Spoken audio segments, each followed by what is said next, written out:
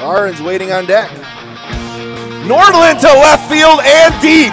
Back to the track. Rodriguez watches that thing go over the wall. And Matt Nordland hammers a three run homer, and it's 5 0. Nordland to left field.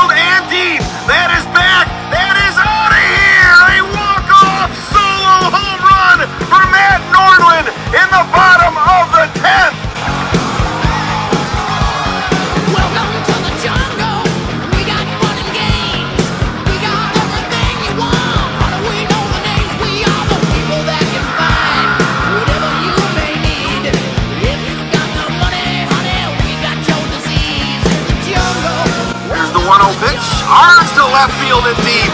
That is back near the wall. That is up and that is gone.